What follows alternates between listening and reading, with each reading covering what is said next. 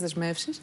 Ε, τώρα πια εισηγηθήκαμε κανονικά μέσα στο πλαίσιο του Ευρωπαϊκού Εξαμήνου τον προπολογισμό μας για το 2019, mm χωρίς το μέτρο της απομείωσης της προσωπικής διαφοράς και με τα μέτρα, με την υλοποίηση των μέτρων για την, ε, που εξήγηλε ο Πρωθυπουργός στη ΔΕΘ. Των ε, θετικών μέτρων, ελαφρύνσεων κυρίως για τη μεγάλη κοινωνική πλειοψηφία. Και αυτός ο προπολογισμό πέρασε χωρίς να υπάρχουν ενστάσεις από τις υπόλοιπες πλευρές και με τη θετική εισήγηση της Κομισιόν. Άρα είμαστε πια σε ένα εξαιρετικά καλό σημείο προκειμένου να μπορέσουμε να προχωρήσουμε στην ε, ε κατάργηση, στην κατάργηση του μέτρου αυτού.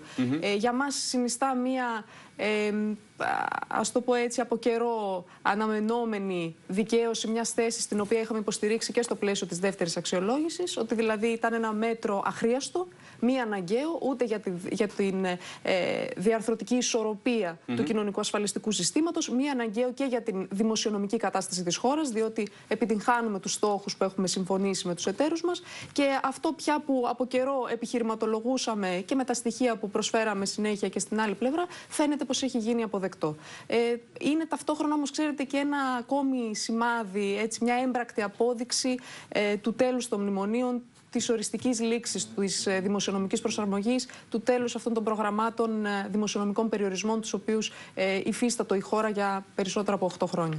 Ε, Ούτως ή άλλως θα πάμε σε αυτό να δούμε τι σημαίνει επιστροφή στην κανονικότητα. Όμως, επειδή βλέπω ότι ε, ε, ε, χρησιμοποιείτε προσεκτικά διαλεγμένες διατυπώσεις, ε, τελειώσαμε, είναι τελειωμένο το ζήτημα. Δεν κόβω τις συντάξεις. Κοιτάξτε. Συγγνώμη που σας το λέω έτσι, αλλά. Νομίζω πως το ορθότερο σε αυτές τις περιπτώσεις είναι επειδή βρισκόμαστε σε διαδικασία όπου η Ελληνική Βουλή ψηφίζει ψηφίζει μέτρα ή καταργεί μέτρα, το ορθότερο είναι κανείς όταν θα μπορέσει να πάει την κατάργηση του μέτρου στη Βουλή και αυτό θα ψηφιστεί από τη Βουλή, αυτό να πει ότι έχει οριστικοποιηθεί. Έτσι πρέπει να συμβαίνει σε μια χώρα και δεν είναι ορθό κανείς να λέει ότι η πολιτική εξέλιξη μιας χώρας ή το αν θα εφαρμοστεί ή δεν θα εφαρμοστεί ένα μέτρο εξαρτάται από μια ε, μη ένσταση ή μια έτσι θετική αντιμετώπιση ε, των εταίρων στο Euro Working Group. Το, το, το λέω αυτό, το υπογραμμίζω, γιατί πλέον δεν είμαστε σε περίοδο μνημονίων. Και δεν είναι ε, σωστό να δημιουργείται η εντύπωση στον ελληνικό πληθυσμό ότι η, το μέλλον μας, το πολιτικό και οι εξελίξεις διαμορφώνονται ή εξακολουθούν να διαμορφώνονται από τις θέσεις που λαμβάνουν ε, έξω εθνικοί θεσμοί, υπερεθνικοί θεσμοί. Άλλωστε, το... βαρεθήκαμε να μετράμε κρίσιμα Eurogroup, έτσι, αυτό ακριβώς. το περίφημο δημοσιογραφικό ακριβώς. κλισέ. Ακριβώς. Οπότε, με αυτή την έννοια, mm -hmm. νομίζω ότι το ορθότερο είναι όταν πάμε στη Βουλή πια με την κατάργηση του μέτρου, εκεί να μπορέσουμε να πούμε ότι ε, η ελληνική κυβέρνηση και η Βουλή ε, προχώρησαν, η, η πλειοψηφία δηλαδή η κοινοβουλευτική, προχώρησαν στην κατάργηση αυτού του αχρίαστου, όπως είπα, μέτρου που θα επιβάρυνε περαιτέρω τους συνταξιούχους χωρίς λόγο. Πάντως, η, η εμπειρία ως τώρα έχει δείξει ότι συνήθως ε, η κατεύθυνση που επικυρώνεται στο Euro Working Group, ε, μετά η ίδια κατεύθυνση φαίνεται και στο Eurogroup. Δηλαδή, σπάνια έχουμε τέτοιου τύπου εκπλήξεις. Ε, ναι, δεν έχουμε εκπλήξει. Δεν θα έχουμε εκπλήξει. Τώρα, είπατε πριν ότι πέρασαν όλα χωρίς ενστάσεις και θέλω να σας ρωτήσω το γεγονός ότι αν μιλούσαμε ας πούμε, για απόφαση, θα τη λέγαμε ομόφωνη, αφού ε, ουδής εκπρόσωπος ουδεμία χώρας ε, ε, προέβαλε κάποια ένσταση. Πώς τη διαβάζετε, τι σημαίνει αυτό; Δεν υπήρξαν ενστάσεις και υπήρξε και η υποστήριξη της Κομισιόν στην ε, διαδικασία αυτή.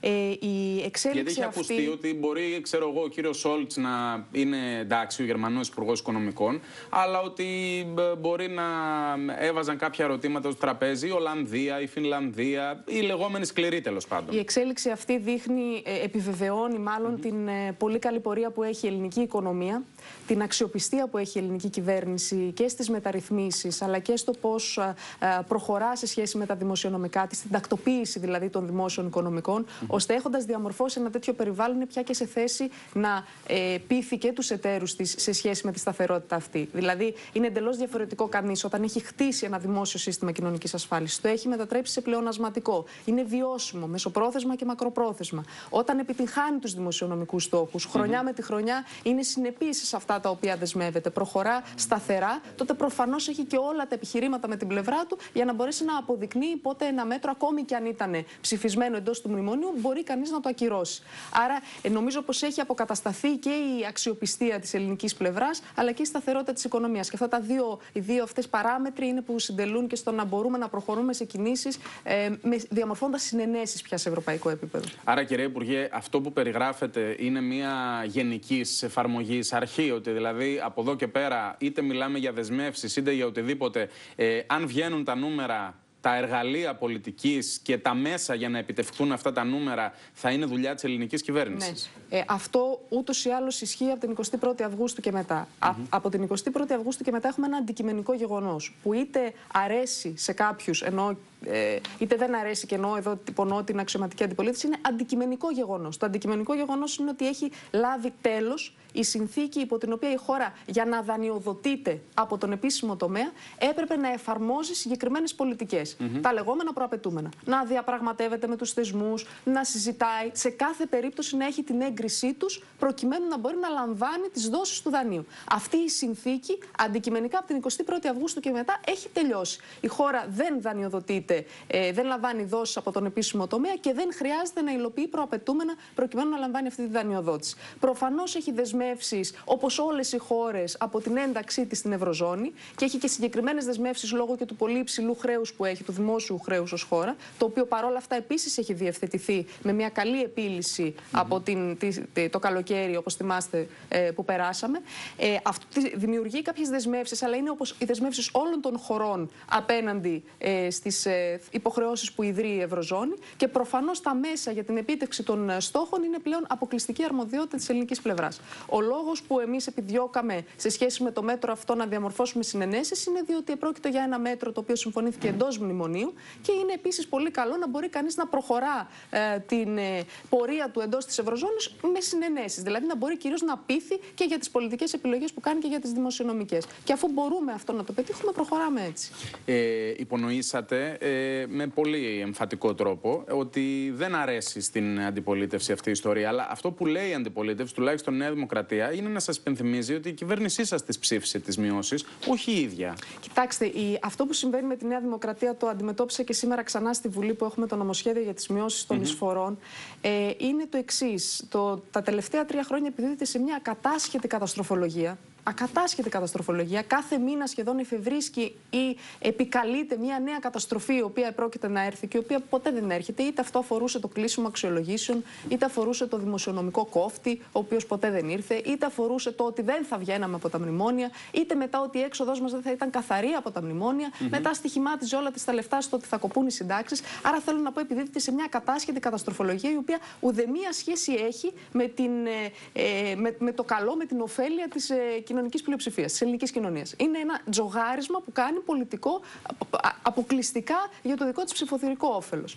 Σήμερα ακολουθεί μια πολιτική το τελευταίο χρονικό διάστημα που επειδή η κυβέρνηση φέρνει στη Βουλή κάθε μέρα που περνάει και ένα νέο θετικό μέτρο μετά την έξοδο από τη μνημόνια, ένα νέο θετικό μέτρο για την κοινωνική πλειοψηφία, η, η Νέα Δημοκρατία επικαλείται μια αυτοδικαίωση η οποία είναι επίσης ανεδαφική. Λέει ότι το μέτρο αυτό, το μέτρο για παράδειγμα η επιτάχυνση της διαδικασίας για την αύξηση του μισθού δικαιώνει τον κύριο Βρούτσι, ο οποίος ενδεχομένως να ήθελε να αυξήσει το μισθό. Το μέτρο των μειώσεων των εισφορών ενδεχομένως τους δικαιώνει, γιατί και αυτοί βαθιά μέσα τους ελπίζαν κάτι τέτοιο. Θεωρώ πως είναι εξίσου αναδαφικό, είναι μια άλλη όψη δηλαδή της καταστροφολογίας αυτή.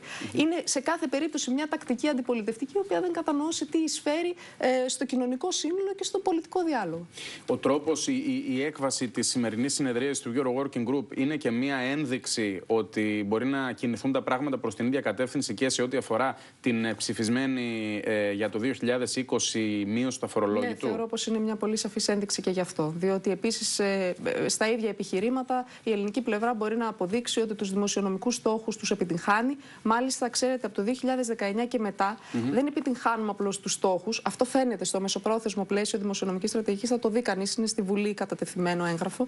Από το 2019 και μετά δεν επιτυγχάνουμε απλώς τους στόχους, αλλά έχουμε και έναν επιπλέον δημοσιονομικό χώρο, ο οποίος αυξάνει με το πέρας των ετών. Δηλαδή για το 2019 θα είναι της τάξης των 900 εκατομμυρίων και εντός αυτού θα υλοποιηθούν όλες οι δεσμεύσεις του Πρωθυπουργού στη ΔΕΘ και γίνεται επεκτατικός, μεγαλώνει δηλαδή τα επόμενα χρόνια. Επομένως, ε, εάν ε, υπήρχε το επιχείρημα για την επίτευξη των δημοσιονομικών στόχων για το 2019, υπάρχει κατά πολύ περισσότερο και για το 2020. Άρα, ναι, στο ερώτημά σας θεωρώ πως αποτελεί μια τροχιοδεικτική έτσι, ε, ε, βολή για το πού θα πάει και το ζήτημα του αφορολόγητου. Και για να κλείσουμε με όλα τα δεδομένα στο τραπέζι, είπαμε το πρόγραμμα της Θεσσαλονίκης ή μάλλον οι εξαγγελίες της Θεσσαλονίκης, για να μην μπερδευόμαστε με το 2015, ε, πάνε στη Βουλή, γίνονται νόμος του κράτους, εφαρμόζονται. Το θέμα των συντάξεων, είπατε ότι είπατε, τα είδαμε και σήμερα στο Euro Working Group και κοινωνικό μέρισμα. Ε, για το 2018 φαίνεται ότι θα υπάρχει μια υπεραπόδοση της ελληνικής οικονομίας, δηλαδή θα υπάρχει ένας δημοσιονομικός χώρος παραπάνω, μεγαλύτερος από το 3,5% που χρειαζόμαστε για το πρωτογενές πλεόνασμα. Επομένως, αυτός ε, θα μεταφραστεί προφανώς, ε, όπως έχουμε αποδείξει και όλες τις προηγούμενες χρονιές, οποιαδήποτε υπεραπόδοση, κάθε εκατοστό, ας το πω έτσι, της οικονομίας που υπεραποδίδει, ε, η ελληνική κυβέρνηση το επιστρέφει, θεωρώ, με έναν κοινωνικά δίκαιο τρόπο, υποστηρίζοντας τους ε, ε ασθενέστερου. Άρα, αναμένουμε ε, να αναμένουν μάλλον και οι πολίτες ότι αυτό θα συμβεί και στο τέλος του 2018, αλλά τις λεπτομέρειες, το σχεδιασμό, την αρχιτεκτονική αυτού του μερίσματος θα τα πει ο Πρωθυπουργός ε, είναι έτσι. Ε, ε, και το, αυτό που δικαιούται τέλος πάντων να κάνει και αυτός κάποια στιγμή, έτσι. Ε, ε, οπότε πάμε μια που μιλήσατε για τα θετικά μέτρα. Με αυτό που είναι τώρα στη Βουλή, έχετε φέρει ένα νομοσχέδιο. Τώρα, με βάση την έκτασή του, πολύ νομοσχέδιο είναι, αλλά μην κολλήσουμε εκεί, για τη μείωση των εισφορών. Και θέλω να σας ρωτήσω αν αυτό πιστεύετε ότι απαντά σε όλη την επιχειρηματολογία για τη μεσαία τάξη που εξαφανίστηκε, που σηκώνει τα βάρη, που κανείς δεν νοιάζεται για αυτή, που πλήρωσε το μάρμαρο του μνημονίου κλπ. κλπ. Και επίσης, ε, πώς απαντάτε εσείς στις στις ε, κατηγορίες της αντιπολίτευσης ότι ουσιαστικά με αυτό το νομοσχέδιο ξυλώνεται το νόμο Κατρούγκαλου; Να πω λίγο για το νομοσχέδιο. Το νομοσχέδιο ε, φέρνει ε, πολύ σημαντικές ελαφρύνσεις στις ασφαλιστικές φορές ελεύθερων επαγγελματιών αυταπασχολούμενων και αγροτών. Και αγροτών. Προβλέπει το νομοσχέδιο ότι για αυτούς οι οποίοι έχουν εισόδημα από 7.000 ευρώ και πάνω, γιατί όσοι είχαν έως 7.000 ευρώ ελαφρύνθηκαν με το προηγούμενο σύστημα, θα έχουμε μια πολύ σημαντική μείωση του ασφαλίστρου, του ποσοστού δηλαδή που πληρώνουν για την κύρια σύνταξη, από το 20% στο 13,3%. Αυτό σημαίνει δηλαδή μια μεσοσταθμικά μια μείωση των εισφορών τους της τάξης του 33%. Επιπρόσθετη ελάφρυνση θα υπάρχει για τους επιστήμονες, γιατροί, δικηγόροι, μηχανικοί ε, πληρώνουν ούτως ή άλλως και για επικούρηση και εφάπαξ. Σε αυτούς προβλέπουμε ότι θα πληρώνουν πια το ελάχιστο υποχρεωτικό, δηλαδή το 62 ευρώ το μήνα. Άρα κατεβαίνει για όλους ε, το επίπεδο της εισφοράς που πληρώνουν για επικουρικό και εφάπαξ και έτσι δημιουργούνται πάρα πολύ σημαντικές ελαφρύνσεις για αυτές τις κατηγορίες των ασφαλισμένων για το 2019. Ε, πολύ σημαντικές θα είναι και οι ελαφρύνσεις των αγροτών, οι οποίοι επίσης θα κατέβει το ασφάλιστρό τους στο 12% και σταδιακά θα φτάσει ε, στο 13% το 2020. Άρα έχουμε ένα σύνολο ευνοϊκών ρυθμίσεων, ελαφρύνσεων για όλες αυτές τις κατηγορίες των ασφαλισμένων. Προσέξτε, αυτό καθόλου δεν αναιρεί και αυτό θέλω να το τονίσω. Καθόλου δεν αναιρεί αυτό που από καιρό λέγαμε ότι με το νέο ασφαλιστικό η συντριπτική πλειονότητα ελευθέρων επαγγελματιών, αυταπασχολούμενων αγροτών πληρώνει λιγότερα. Το 80% το 88% που λέγατε, ναι. Και αυτό είναι στοιχεία, είναι mm -hmm. τα ειδοποιητήρια που στέλνονται στους ανθρώπους, πληρώνει λιγότερα. Αυτά είναι στοιχεία του ΕΦΚΑ, δηλαδή. από, τα, από ό,τι πλήρωνε με το προηγούμενο σύστημα. Mm -hmm. θυμίζω ότι με το προηγούμενο σύστημα κανείς δεν πλήρωνε με βάση τις πραγματικές του δυνατότητες, δεν πλήρωνε με βάση το εισόδημά του. Κάθε τριετία με βάση τις ανέβαινε. Ακριβώς. Δηλαδή, ανάλογα με το πόσα χρόνια είχε στο επάγγελμα, αυξανόταν και το ποσό που έπρεπε να εισφέρει, ανεξαρτήτως αν πράγματι πήγαινε καλά οικονομικά ή όχι. Με την ασφαλιστική ασφαλιστική μεταρρύθμιση, το κορυφαίο που έγινε, η φιλοσοφία της ήταν ότι συνέδεσε τις εισφορές με το πραγματικό εισόδημα. Δηλαδή, έβαλε ένα ποσοστό και είπε ότι αυτό το ποσοστό θα είναι επί του πραγματικού εισοδήματός σου, επί του δηλωθέντος εισοδήματός σου.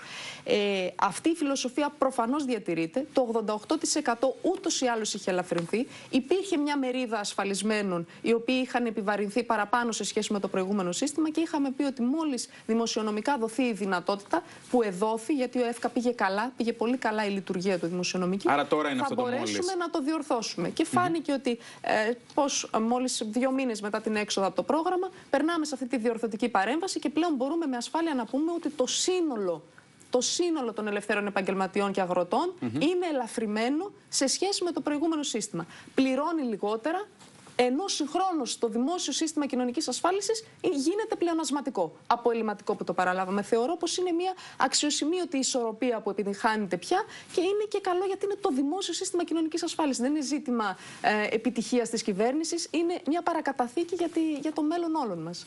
Ε, τώρα, να ανοίξω μια παρένθεση. Ε, αν και είναι άλλο πράγμα η μισθωτή, άλλο πράγμα οι ελεύθεροι επαγγελματίες κλπ. κλπ.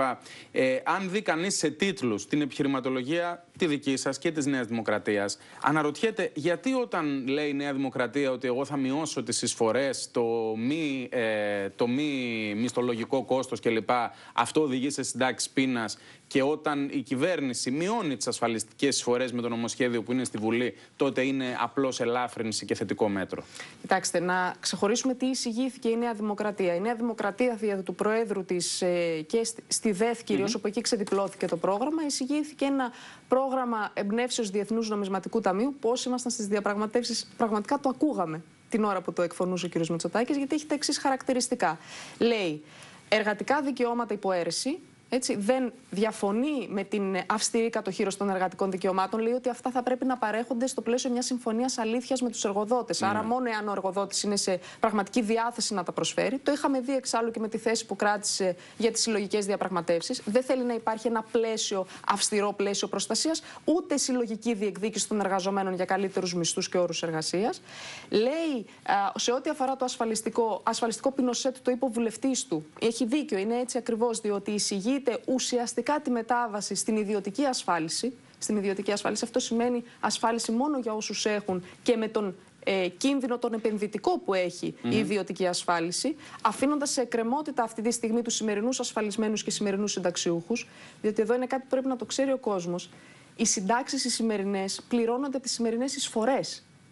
Να είναι σαφές το πλαίσιο. Δεν πληρώνονται. Όχι από κάποιο κουμπαρά που υπάρχει. Δεν πληρώνονται από κάποιο κουμπαρά που Άλλωστε, υπάρχει. συμβόλαιο γενναιών είναι το Ακριβώς. ασφαλιστικό. Αυτό λίγο πρέπει να είναι σαφές στον κόσμο. Οι σημερινές εισφορές πληρώνουν τις σημερινές συντάξεις. Όταν λες ότι σήμερα θα θα, κατα... θα μετατρέψω σε ιδιωτική ασφάλιση έστω ένα κορμό της κοινωνικής ασφάλισης, αυτό σημαίνει ότι αφαιρείς αμέσως έσοδα από το σύστημα. Άρα αφήνεις ξεκρέμα στους συνταξιούχους. Εκτός αν δεν τους αφήσεις ξεκρέμα στους και καλέσεις το δημόσιο να έρθει να καλύψει την τρύπα, όπου αυτή η τρύπα είναι δυσθεώρητη αν συμβεί αυτό. Δηλαδή, ε, στο Υπουργείο που κάναμε έναν υπολογισμό για το πρόγραμμα του κ. Μητσοτάκη, θα σήμαινε η μετάβαση στο ασφαλιστικό που προτείνει ε, μία τρύπα 55 δισεκατομμυρίων, την οποία θα έπρεπε να καλύψει το ελληνικό κράτος, μάλλον, εκτός αν έμεναν έκθετοι συνταξιούχοι, προκειμένου να κερδίσει τελικά ποιος. Οι ιδιωτικές ασφαλιστικές εταιρείες. Αυτό ήταν το πλαίσιο του ασφαλιστικού που εισηγήθηκε και νομίζω ότι είναι εξαιρετικά επικίνδυνο και εξαιρετικά αντικοινωνικό.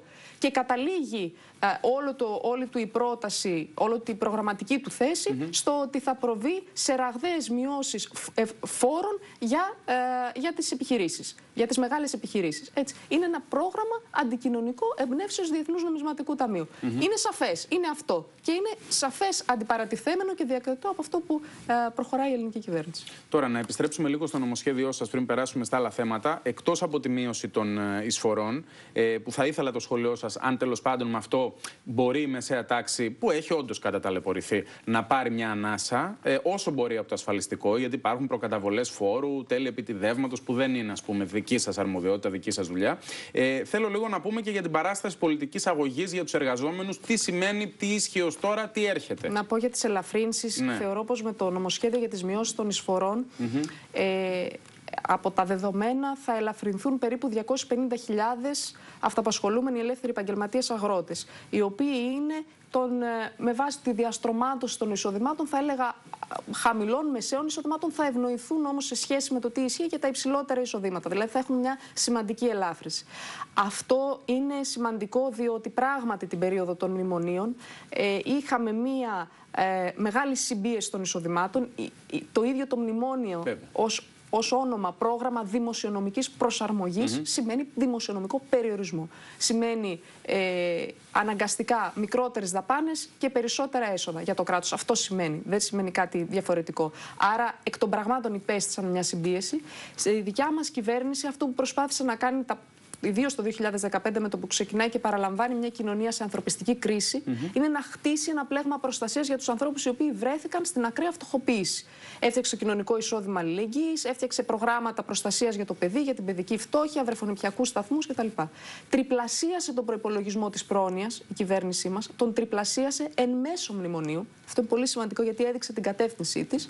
Και αυτή τη στιγμή είναι πια σε θέση, κλείνοντας ο κύκλος των μνημονίων, να προχωρήσει σε παρεμβάσεις για τη μεγάλη κοινωνική κοινωνική πλειοψηφία, όχι μόνο για τους πλέον, αστε, για τους πλέον ασθενέστερους, αλλά και για τη λεγόμενη μεσαία τάξη. Και αυτό γίνεται με τις ασφαλιστικές εισφορές. Αυτό θα γίνει με τη μείωση του έμφυα, η οποία επίσης θα ψηφιστεί το επόμενο χρονικό διάστημα από τη Βουλή. Αυτό έγινε και με την επιστροφή των αναδρομικών σε πανεπιστημιακούς ενστόλους δικαστικούς, που ήταν μια αποκατάσταση αδικίας που εμείς πήραμε την πολιτική πρωτοβουλία να υλοποιήσουμε. Αυτό θα γίνει με το επίδομα ενοικίου, το οποίο θα νομοθετηθεί κανονικά και θα δοθεί σε νέα ζευγάρια, σε νέους ανθρώπου, ε, οι οποίοι έχουν ανάγκη να ε, μπορέσουν να κάνουν τη μετάβαση στο δικό τους σπίτι, να χτίσουμε δηλαδή. Εκεί, συγγνώμη, ένα, υπάρχει και μια, μια λεπτομέρεια ότι εκτός από επίδομα ενοικίου θα είναι και επίδομα στέγασης. Δηλαδή ναι. θα μπορεί κάποιος να χρηματοδοτεί και το στεγαστικό του δάνειο. Ακριβώς, Δεν θα αφορά μόνο ενοικιαστές. Ακριβώς. Είναι επίδομα ενοικίου mm -hmm. και επιδότηση για αυτούς που έχουν ε, δάνειο πρώτης κατοικίας. Θα αφορά και αυτούς. Όχι μόνο για να νοικιάσει, αλλά για να μπορεί κανείς να αποπληρώσει και το δάνειο πρώτης κατοικίας. Μια, εκτιμώ, ε, πολύ σημαντική παρέμβαση mm -hmm. κοινωνικής υποστήριξης.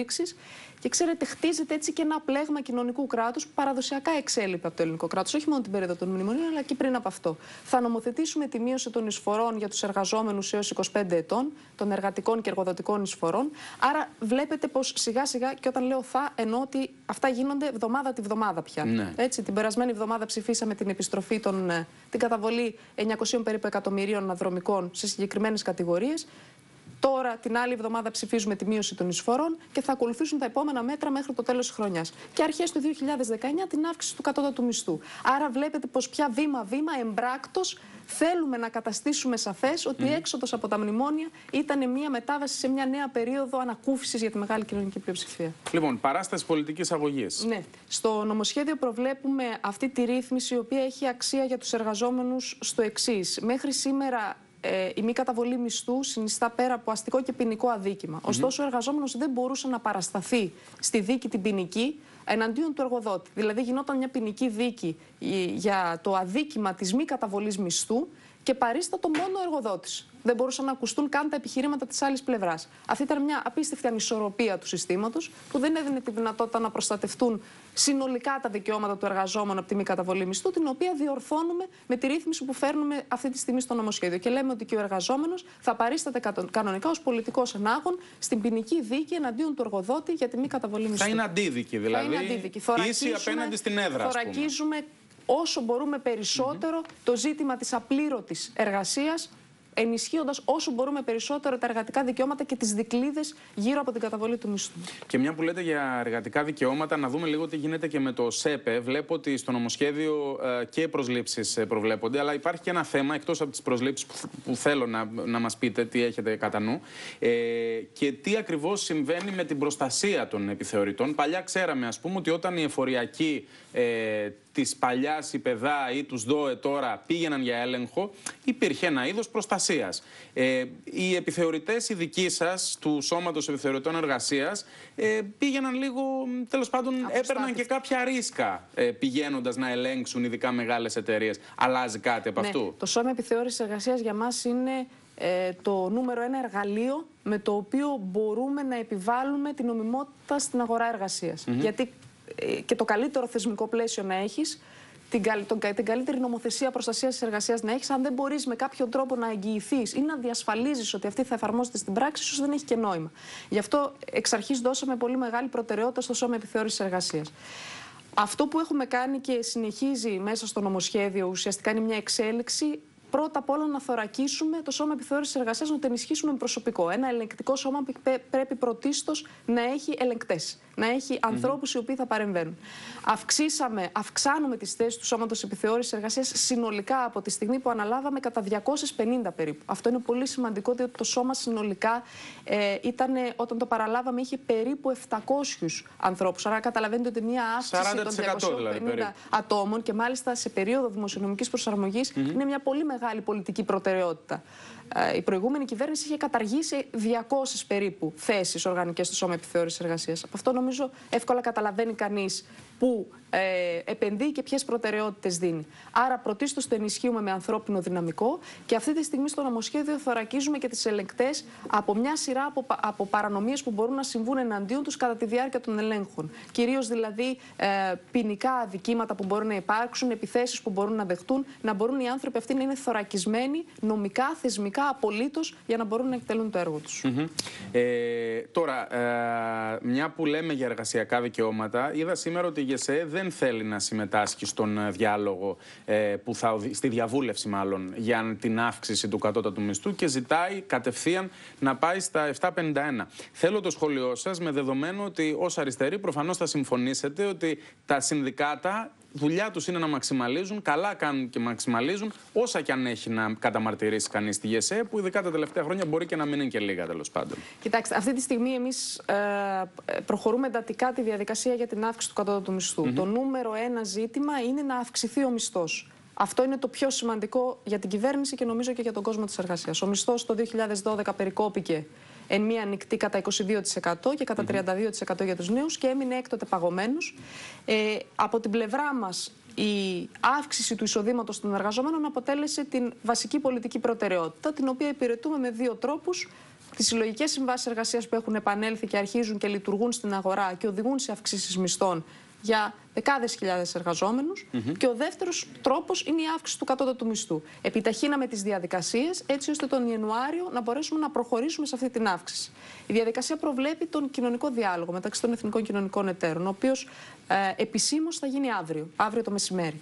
Ε, από την πλευρά της, με βάση την επίσημη επιστολή της ΓΕΣΕ, ε, αν κατάλαβα καλά, διαφωνεί με τη συνολική διαδικασία και δεν θέλει να πάρει μέρος. Θεωρώ πως είναι πραγματικά θλιβερό να μην υπάρχει εκπροσώπηση των εργαζομένων στη συζήτηση για το μισθό. Δηλαδή θα είναι εκεί οι εργοδότες δηλαδή, και όχι οι εργαζόμενοι. Καταλαβαίνετε τι σημαίνει αυτό. Θα γίνει μια διαπραγμάτευση, μια συζήτηση για το μισθό και θα υπάρχουν μόνο η εργοδοτική πλευρά. Αυτό νομίζω ότι οι εργαζόμενοι στη χώρα μπορούν να καταλάβουν τι ακριβώς μπορεί να εξυπηρετεί αυτή η στάση. όσο, όσο, όποιο αίτημα και αν θέλει να βάλει, όποιο αίτημα και αν θέλει να βάλει, δεν είναι δυνατόν να γίνεται κοινωνικός διάλογος για το μισθό και να μην παρίστανται οι εργαζόμενοι. Καθόλου να μην έχουν καμία εκπροσώπηση. Α, θα κρυθεί η στάση αυτή νομίζω από τους ίδιους τους εργαζόμενους. Ε, τώρα, ε, σε σχέση με την ανεργία, βλέπουμε ότι βήμα-βήμα πέφτει. Ε, θα ήταν εντελώς αντιεπιστημονικό να σας ζητήσω μία πρόβλεψη ε, ας πούμε ως τις εκλογές έτσι όπως είναι η εξάντληση της συνταγματικής θητείας της κυβέρνησης ως του χρόνου το Σεπτέμβριο, τον Οκτώβριο. Ε, πόσο μπορεί να κατέβει η ανεργία, μπορεί να πάει στο 18 ναι, στο 17. Ε, εκτιμούμε ότι με, με, αρκετά μεγάλη ασφάλεια ότι θα μπορέσουμε να είμαστε σίγουρα στο 18%. Mm Οπωσδήποτε αυτό. Αυτό σημαίνει μια αρκετά σημαντική μείωση από όταν αναλάβαμε. Όταν αναλάβαμε η ανεργία ήταν περίπου στο 26% και λίγο διάστημα πριν είχε φτάσει και στο δυσθεώρητο 28%. Ε, από το 2015 με συγκεκριμένες ε, επιλογές που γίνονται και στην οικονομία, το βασικό, η ανάκαμψη της οικονομίας, η δημιουργία εσωτερικής ζήτησης είναι αυτή που δημιουργεί θέσεις εργασίας, αλλά και τα προγράμματα εργασίας που εκπονούμε και η καταπολέμηση νομίζω της ε, αδήλωτης εργασίας συμβάλλει σε αυτό. Έχουμε μία μόνιμη σταθερή καθοδική τάση. Έχουμε μονίμως ένα πολύ καλό ισοζύγιο προσλήψεων αποχωρήσεων ε, και ε, η ανεργία να μπορεί σήμερα να πούμε ότι έχει μειωθεί ε, περίπου 7 ποσοστιαίες μονάδες και να βαίνει μειούμενη το επόμενο διάστημα. Από την πλευρά μας στόχευση είναι εκτός του να συνεχιστεί αυτή η καθοδική τάση και να ε, επιταχύνει, ταυτόχρονα να δημιουργούνται αξιοπρεπείς θέσεις εργασίας. Γι' αυτό και το ζήτημα του μισθού ε, είναι αυτό στο οποίο επιμένουμε τόσο πολύ. Γι' αυτό και το ζήτημα όλων αυτών των νομοθετικών πρωτοβουλειών που θωρακίζουν το σύστημα, προκειμένου να μην έχουμε απλώς μεγέθυνση, πολλαπλασιασμό των θέσεων εργασίας, αλλά να έχουμε κυρίως ποιοτικές θέσεις εργασίας, αξιοπρεπείς. Και τώρα, πριν, ε, πριν φύγουμε από την αρμοδιότητά σας, για να πάμε λίγο στα γενικά πολιτικά κλείνοντας, ε, έχει δημιουργηθεί ένα, επιτρέψτε μου την έκφραση, μπάχαλο σε σχέση με τα αναδρομικά.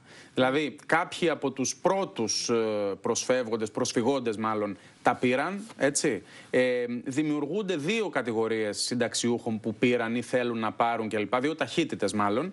Ε, και ταυτόχρονα στο τέλος κανείς δεν ξέρει τι θα γίνει. Ε, με τα νεότερα να τα περιμένουμε από τη δικαιοσύνη, από το Συμβούλιο της Επικρατείας, να υποθέσω. Για τα αναδρομικά των συνταξιούχων. Ναι. Λέμε αυτό είναι να το διευκρινίζουμε, γιατί υπάρχει μια σύγχυση σε σχέση με τα αναδρομικά τα οποία ήδη ψήφισε η Βουλή Για και αφορούν τους ενστόλους, ναι. του δικαστικούς, τους γιατρούς. Αυτά καταβάλλονται μέσα στον Νοέμβριο. Αυτά θα καταβληθούν ναι, εντός του μήνα.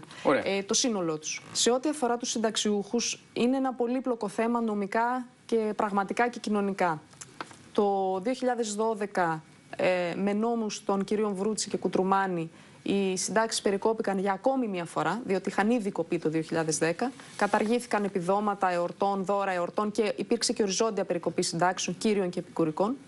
Το 2015 το Συμβούλιο της Επικρατείας ήρθε με μια απόφαση πιλότου και είπε ότι οι περικοπές αυτές είναι αντισυνταγματικές. Ο τρόπος κυρίως που έγιναν ε, ήταν που οδήγησε το Συμβούλιο Επικρατείας σε αυτή την κρίση. Είπε όμως το Συμβούλιο της Επικρατείας ότι δεδομένου και του δημοσιονομικού κόστους από αυτές τις περικοπές, διότι κρατήστε ότι οι κύριοι αυτοί έκαναν περικοπές οι οποίες συνολικά άθριζαν σε 45 δις 45 δις με μια συρρήκνωση του ΑΕΠ της χώρας. Άρα καταλαβαίνετε ότι αυτό περίπου ισοδυναμεί με το 1 τέταρτο του ΑΕΠ της χώρας.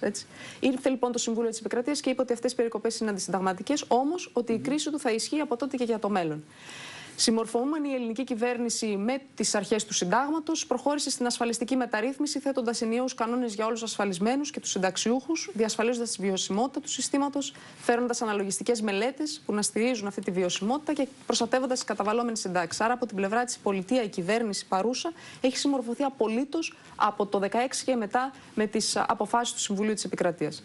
Ε, η σύγχυση έχει δημιουργηθεί γιατί πριν από κάποιο διάστημα ένα μονομολέ πρωτοδικείο έκρινε σε κόντρα με την απόφαση του Συμβουλίου ναι. της Επικρατείας και επιδίκασε αναδρομικά, ενώ για την περίοδο από το 12 και μέχρι το 15 σε κάποιους συνταξιούχους. Ε, η απόφαση αυτή προφανώς εφησιβάλλεται, θα ακολουθήσει στο δρόμο της δικαιοσύνης, διότι αντιβαίνει στην απόφαση του Συμβουλίου της Επικρατείας και ο δικαστικός δρόμος ακολουθείται κανονικά. Από την πλευρά μας, πολιτικά, αυτό που είχαμε να κάνουμε, το κάναμε με την ασφαλιστική μεταρρύθμιση του 2016 και νομίζω ότι ε, και με τα σημερινά νέα, ε, αν θέλετε, επιδεικνύουμε εμπράκτος διαρκώς ότι αυτή η κυβέρνηση έχει ως μέλημά της τους συνταξιούχους και τους χαμηλοσυνταξιούχου και κάθε φορά που έχει δημοσιονομικό περιθώριο κάνει κινήσεις προκειμένου να τους ενισχύσει. ε, τώρα, για τα υπόλοιπα θέματα, ε, θα ήθελα το σχόλιο σας για την πρόταση της Νέας Δημοκρατίας ε, να συνταγματοποιηθεί τέλος πάντων ένα δημοσιονομικό φρένο. Ναι. Ε, συνολικά η στάση που κρατάει η Νέα Δημοκρατία στο ζήτημα της συνταγματικής αναθεώρησης εκτιμώ πως είναι αλλοπρόσαλη και είναι και ανεύθυνη ως προς τη βαρύτητα, τη θεσμική που έχει αυτή η διαδικασία. Η ελληνική κυβέρνηση και η ε, κοινοβουλευτική πλειοψηφία κατέθεσαν μια πρόταση για αναθεώρηση του συντάγματος ε, η οποία είναι όρημη με την έννοια ότι έχουμε, πια, έχουμε πάρει διδάγματα από την περίοδο των μνημονίων, έχουμε δει ποια πράγματα θα έπρεπε να προστατεύονται ίσως καλύτερα από το Σύνταγμα. Ταυτόχρονα έχουμε πάρει πολύ σοβαρά διδάγματα για το τι σημαίνει η διαφθορά στο πολιτικό σύστημα και πώς θα πρέπει να μην υπάρχουν προνομιακές διατάξεις και προνομιακές ρυθμίσεις για το πολιτικό σύστημα και πώς θα πρέπει να ενισχυθεί συγχρόνως και η λαϊκή έτσι, ε, εκπροσώπηση και κοινοβουλευτική διαδικασία. Αυτά τα μάθαμε και την περίοδο των μνημονίων, τα μάθαμε και ιδίως ε, λόγω της μεταβίβασης, εκχώρησης στην πραγματικότητα εξουσιών λήψης αποφάσεων σε έξω ε, έξω θεσμικά κέντρα, αλλά και σε υπερεθνικούς ε, θεσμούς, οι οποίοι δεν έχουν καμία τέτοια αρμοδιότητα. Σε τεχνοκράτες, οι οποίες δεν είχαν την αρμοδιότητα να λαμβάνουν πολιτικές αποφάσεις για τη χώρα. Αυτές οι συνθήκες ήταν που οδήγησαν την κυβέρνηση και την ε, κοινοβουλευτική πλειοψηφία να καταθέσει μια πρόταση συνταγματική αναθεώρησης, η οποία μπορεί να αντλήσει εκείνες τις συνενέσεις που απαιτεί η συνταγματική αναθεώρηση. Η συνταγματική αναθεώρηση δεν είναι μια διαδικασία που, την κάνει, ε, που μπορεί να την κάνει ένα κόμμα, μία κυβέρνηση, ε, ε, ένα τμήμα της Βουλής απαιτεί εκ των πραγμάτων και καλώς κάνει και απαιτεί ευρύτερες συνενέσεις. Διότι αφορά το Σύνταγμα, αφορά την πεπτουσία της λαϊκής βούλησης και αφορά αυτό από το οποίο απορρέουν στην πραγματικότητα οι επόμενες κανονιστικές ε, ισχύς των υπολείπων διατάξεων. Άρα Καταθέσαμε μια τέτοια πρόταση. Από την πλευρά της Νέα Δημοκρατία κράτησε μια στάση που στην αρχή είπε ότι δεν θα συμμετάσχει καθόλου στη διαδικασία της συνταγματική, δεν θέλει να πάρει θέση. Εκ των υστέρων επανήλθε καταθέτοντας περί τις 60 προτάσεις αναθε... της αναθεώρησης, οι οποίες δεν θα μπορούσαν να υπάρξουν συνενέσεις.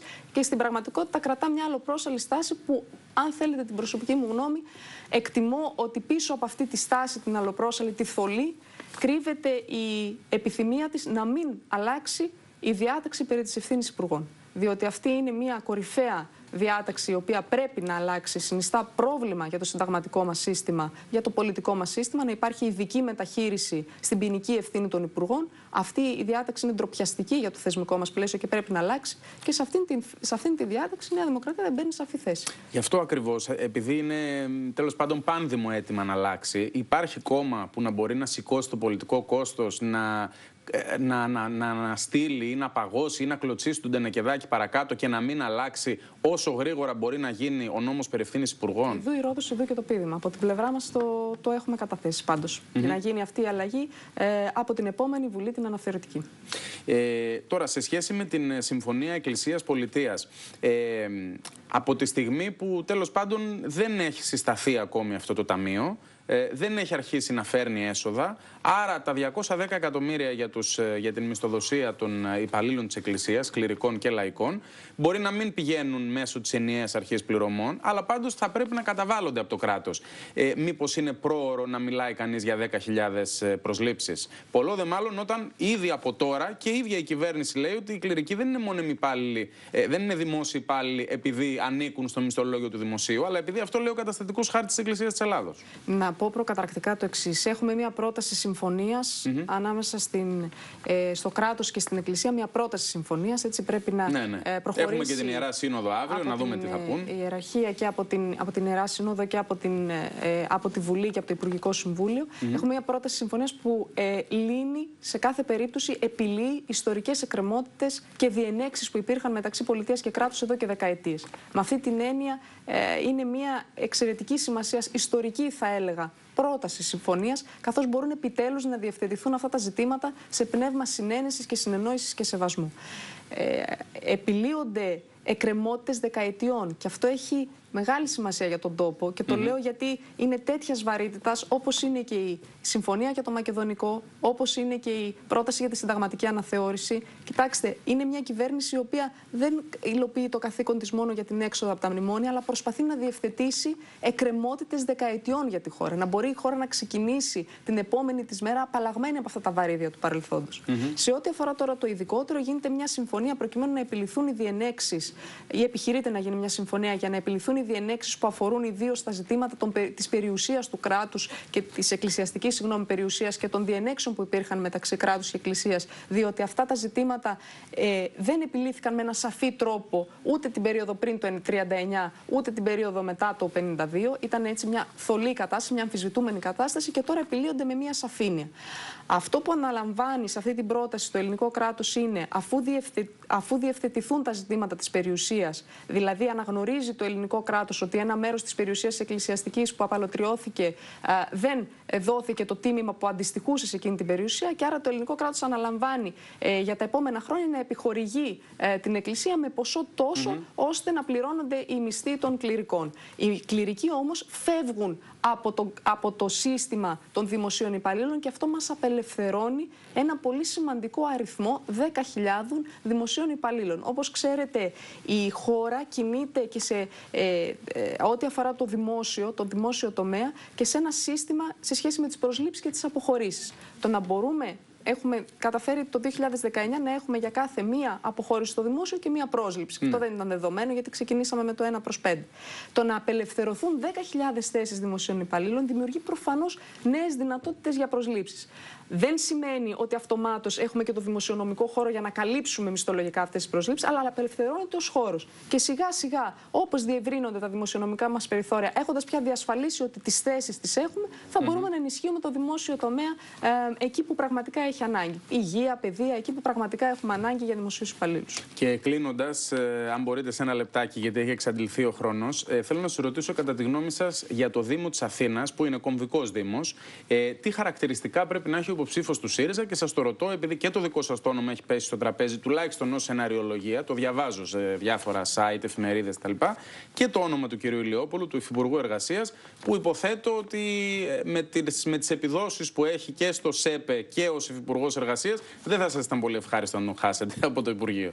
Ε, το βασικό είναι οι προγραμματικές θέσεις. Αυτό θέλω να το επισημάνω. Ξέρω ότι πολλοί κόσμοι πολλές φορές τον ενδιαφέρει πιο πολύ η ανοματολογία. Όμως πραγματικά. Γι' αυτό ξεκίνησα το... με τα χαρακτηριστικά, κύριο, γιατί μέχρι τώρα έχουμε το... δύο αστικές υποψηφιότητες. Το κύριο ζήτημα είναι οι προγραμματικέ θέσει. Το πώς mm -hmm. μπορεί κανείς να υλοποιήσει δηλαδή ένα συγκεκριμένο πρόγραμμα αναβάθμισης ε, της πόλης και σε ό,τι αφορά τους δημόσιους χώρους της και σε ό,τι αφορά τις κοινωνικές της ε, παροχές προς τους πολίτες πολίτε της. Αυτό είναι το κύριο ζήτημα, τα προγράμματα που θα συγκρουστούν εκεί. Δεν έχει τόση σημασία, η πολύ μικρότερη σημασία έχει το πρόσωπο το οποίο θα τα εκφράσει αυτά.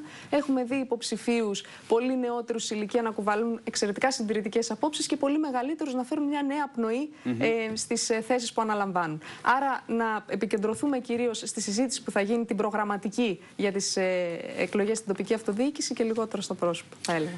Κυρία Υπουργέ, κυρία Αξιόγλου, σας ευχαριστώ θερμά για Και την εγώ. παρουσία σας Εγώ και τη σας συζήτηση που είχαμε. Να είστε καλά. Κυρίες και κύριοι, μένουμε στην πολιτική επικαιρότητα. Συνεχίζεται ως άλλος μετά την αποκάλυψη ότι ανοίγουν οι λογαριασμοί του Κώστα Σιμίτη μαζί με αυτούς συγγενών του και υπουργών του, προκειμένου να ερευνηθούν.